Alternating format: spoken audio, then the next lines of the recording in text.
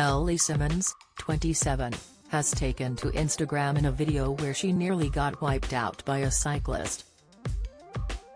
It came as the Strictly Come Dancing star took to her stories to share a snap of her day out in the sun. The Paralympic swimmer could be seen smiling joyfully as she enjoyed her stunning morning outside the ITV studios as she appeared to be getting ready to start filming. She was dressed in a light jacket with a striped blue and black t-shirt underneath as she began filming. The clip was shared with Ellie's 91,800 followers. As the athlete was filming over the horizon, however, she turned around and was nearly knocked over by a passing cyclist, who she barely noticed. In the caption she penned, a second later I'd have got wiped out by the bike. It comes after Ellie, who is in a happy relationship with her boyfriend, insurance worker Matt, has spilled on her big crush on Strictly Dance partner Nikita Kuzmin, 24. The pair have been competing together in the latest series of the BBC show and have formed a very tight bond. The Paralympic swimmer revealed in a behind-the-scenes training update jokingly claimed fancied her co-star.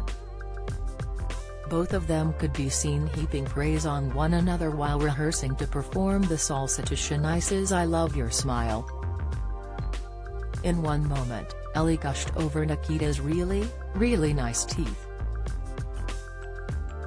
She then admitted she has a big crush on him. I've got a big crush on him. His teeth are really, really nice which they are, Ellie could be heard telling the cameras. It follows from news that Nikita had split from his ex-girlfriend Nicole Wirt, 23, earlier this month.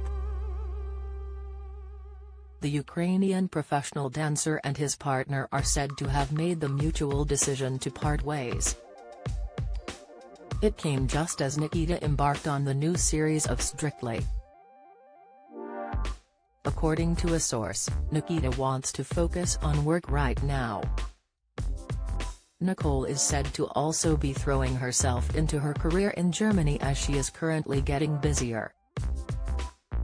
The source said, Nikita wanted to totally focus on this series of Strictly and decided a while back he wanted to end his relationship with Nicole.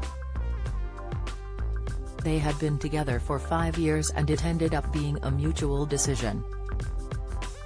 Express.co.uk has contacted Nikita Kuzmin's representative for comment.